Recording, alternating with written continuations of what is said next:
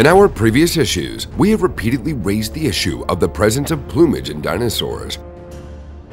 This fact has been known to scientists for a long time, but they only received direct evidence in 1998. Fossilized remains of feathered dinosaurs have been found in China. Today, we'll tell you more about the discovery and introduce you to some feathered dinosaurs. You can also find out when and for what purpose dinosaurs acquired feathers.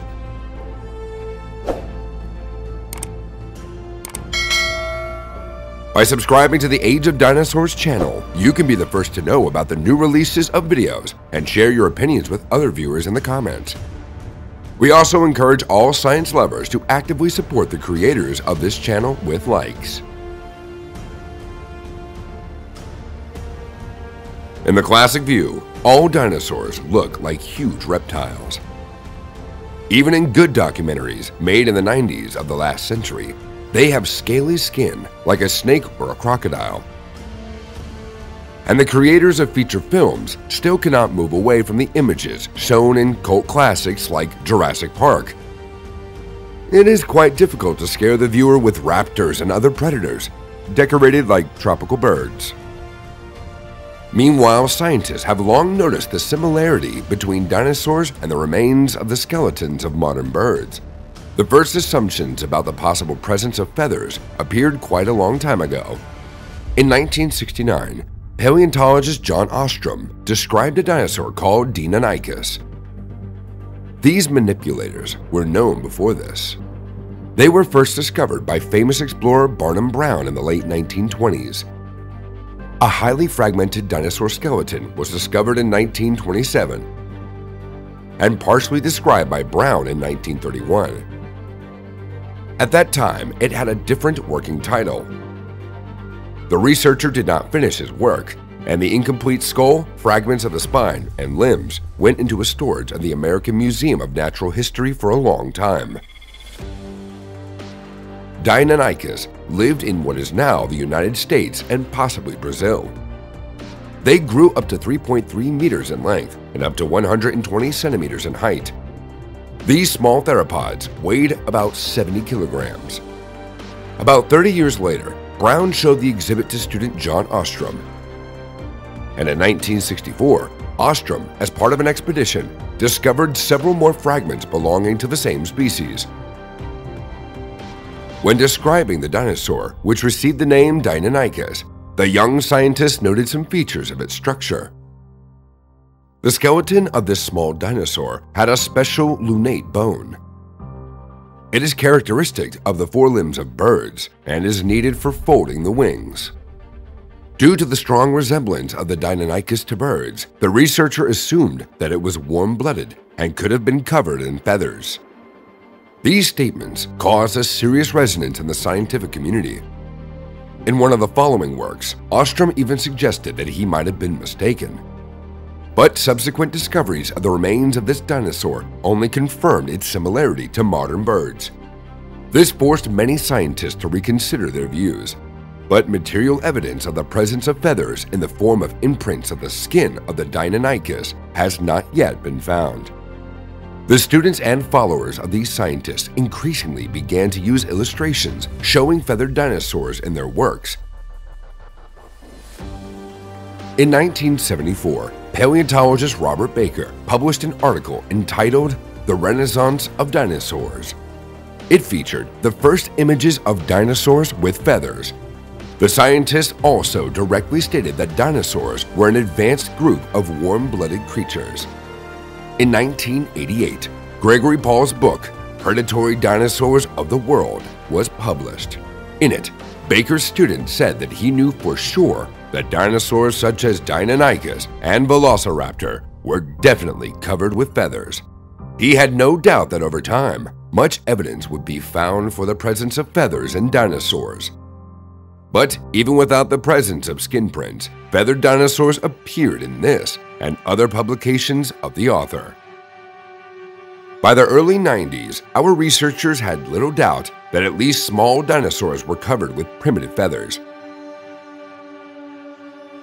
For example, the Soviet paleontologist Mikhail Ivakhnenko in his book The Living Past of the Earth, published in 1987, depicted an Avamima with a thick feather covering. Avamim is a small carnivorous theropod living in Asia between 84 to 66 million years ago. It did not exceed 1.5 meters in length, and its name translates as bird-like. It was first discovered in the Gobi Desert in 1981 by Soviet paleontologist Sergei Kurzanov.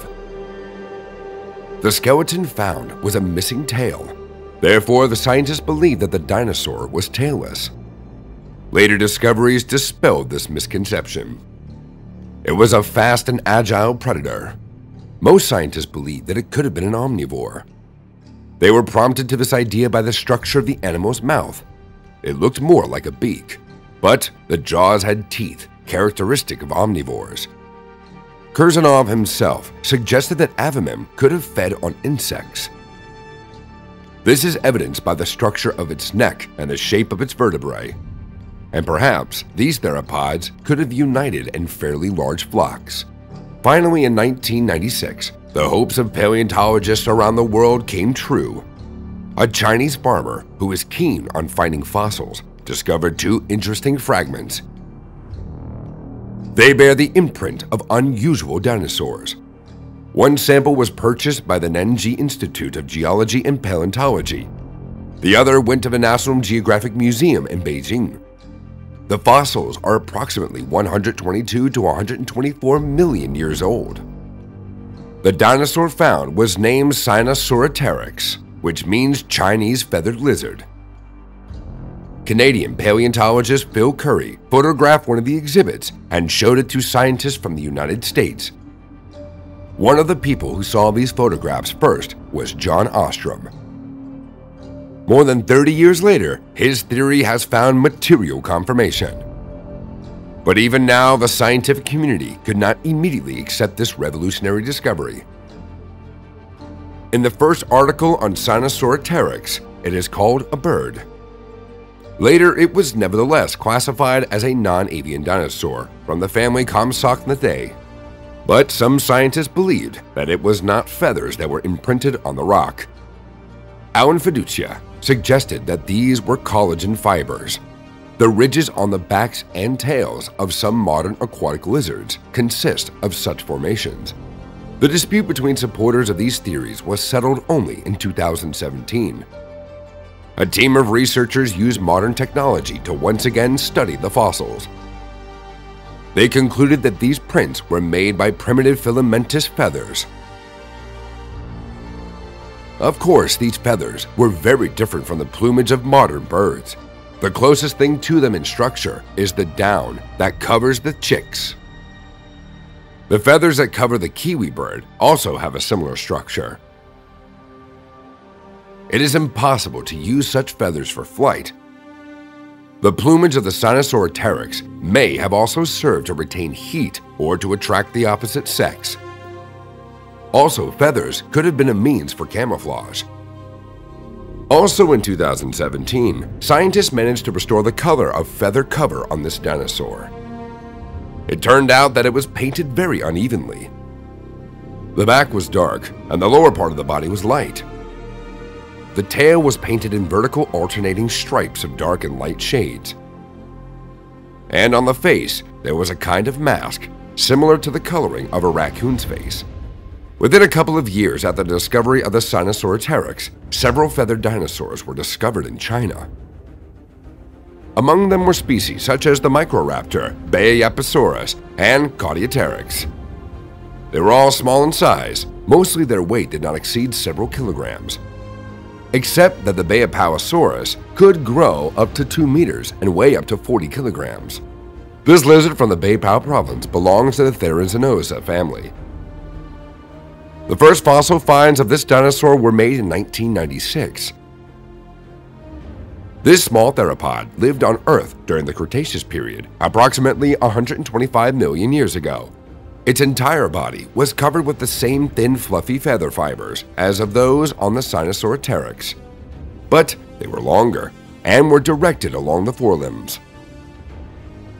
but it differed from the other members of its family with its large skull. At the end of its mouth was a toothless beak.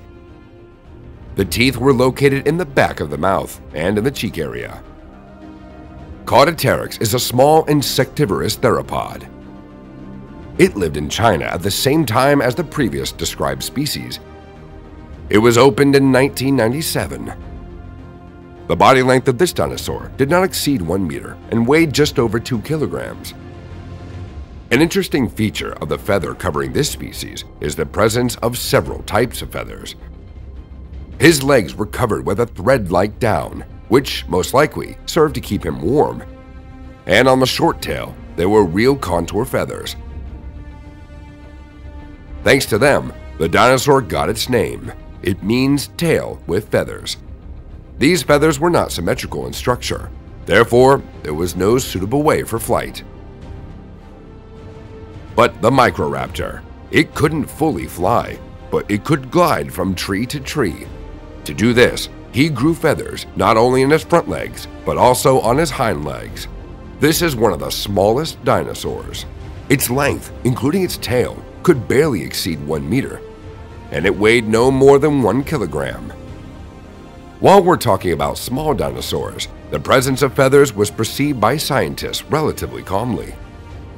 But when a feathered tyrannosaurid, Yutyrannus, was discovered in China in 2012, scientists were very puzzled.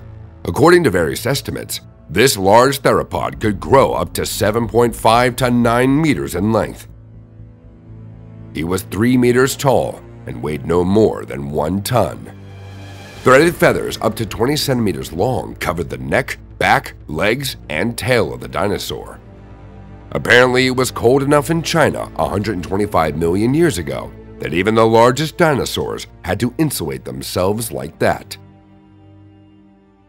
But evidence of the presence of feathers in Tyrannosaurus rex and its other relatives has not yet been found. Such large animals generate enough heat to do without additional protection from the cold. Examples of this are the modern elephants and rhinoceroses, but despite the lack of scientific substantiation, Tyrannosaurus partially covered with fluff appeared in some documentaries. The TV series Prehistoric Planet. Interestingly, traces of plumage have been found in some species of pterosaurs. They separated from the dinosaur lineage much earlier than the end of the Cretaceous period.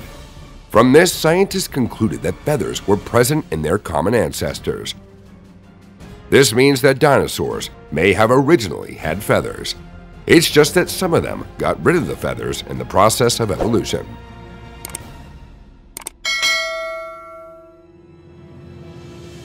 We're grateful to the viewers who watched this video to the end. You can learn more about the history of dinosaurs, all from our previous videos. We also talk about different geological eras and the history of the emergence of life on our planet. See you next time.